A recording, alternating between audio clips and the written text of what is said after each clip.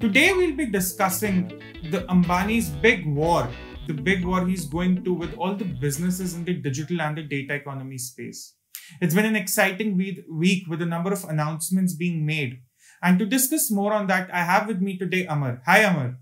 Hey Tushar. Amar, exciting week, a lot of announcements from Reliance's Jio platform. What do you make of these announcements really? Uh, Tushar, let's uh, let's give it a Swarajya standpoint, right? What do we see? Uh, and we'll start by giving credit to whoever made the uh, nice Twitter graphic. We'll ask our team to put it up on the screen now. Uh, it's a very nice graphic of everybody Jio is going to war with. And it has Jio at the center, uh, Reliance and the Jio ecosystems at the center. And who do we have? We have the entire non-Jio ecosystem surrounding them uh, uh, and being at war with them, right? This is perhaps, you know, perhaps the biggest takeaway I think from uh, from what Ambani has been building up. He wants to go to war in e-commerce. Ambani wants to go to war in telecom devices. Ambani is already at war with telecom service providers, and now Ambani is going to war, uh, you know, for 5G domination. So, if anything at all, Ambani has raised a ton of money, and what does he have on his hands? He has a big war, and I mean, he's, he's a very competent businessman, of course, and he will uh, obviously give his best to win. But the big takeaway is that his ambition is huge.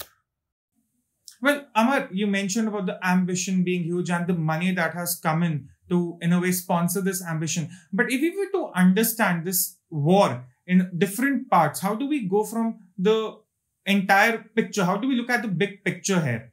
So let's do this in four or five components, right? Uh, what does Ambani want to do next? He wants to run a 5G network and he promises to build it by himself in India. So that's component number one. At the very backbone, the telecom network itself, Ambani wants to build. What does he want to do with the telecom network? He wants to run a 5G and a 4G uh, telecom service, which is what Airtel and Vodafone are doing, and Jio is already doing. So the second component is your telecom service itself.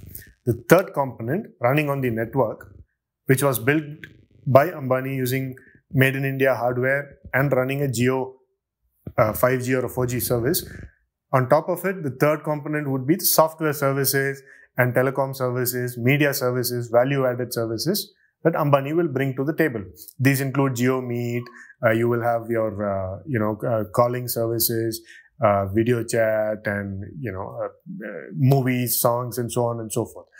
The fourth important component would be e-commerce. JioMart is a big component of Ambani's uh, JioStack. Um, the the whole ambition, e-commerce is obviously a big part of it. Um, finally, at the other end of the spectrum, so at one end, Ambani is trying to set up a made in India 5G network. At the other end, he wants to give 500 million users consume uh, consumer electronics, which is affordable mobile phones. He wants to give you Jio glasses and other, I'm sure there will also be more electronic devices that will plug into the Jio ecosystem, right? So he's looking at five, conventionally five different businesses and he's bringing them all together into one. And he wants to win in all five of them, right?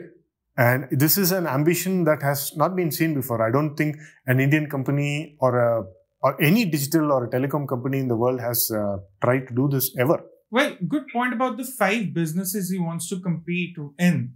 But uh, again, we've seen Google coming up with such a big ecosystem. There is Apple, which is having ecosystem it's of itself. So, can you say that uh, Reliance Jio is similar to any of them, or perhaps bigger? No, I see. We are not telecom industry analysts, but if you would actually uh, try looking at different telecom companies and digital media companies and uh, you know huge technology companies None of them are into all these five areas, right? Uh, you have Chinese software majors, WeChat. They are not into running a telecom network per se. Uh, Apple is a hardware company, uh, you know, largely with you know a very active software ecosystem that also you know facilitates the sale of its hardware. But largely, what is Apple? Apple is a devices company. Um, what is Google. Google is a technology company that does not dabble a lot into running a telecom network or actually building a lot of devices. And Google does dabble in hardware, but hardware is not uh, Google's core business. Uh, you can look at, uh, let's say, somebody like a Vodafone, a major telecom company and an MNC, massive uh, presence across the world. Uh, they don't get into trying to uh, do software or trying to manufacture hardware for 500 million user base, right? So what Ambani is bringing to the table is full spectrum media and technology and telecom domination, the likes of which we've not seen before. Uh, this is ambition on steroids. I don't think anybody has tried this. And uh, should an Indian company with such ambition succeed, it uh, bodes very well for a you know uh, for an ambitious country like India. And let's hope he does manage to succeed in all of these five parts. Well, that's well summed up, Amar. Thank you so much uh, for putting those into five very easy to understand parts. And of course, Ambani is being very ambitious, and we can only hope that with his ambition, he can power India's next digital revolution. Thank you so much for watching.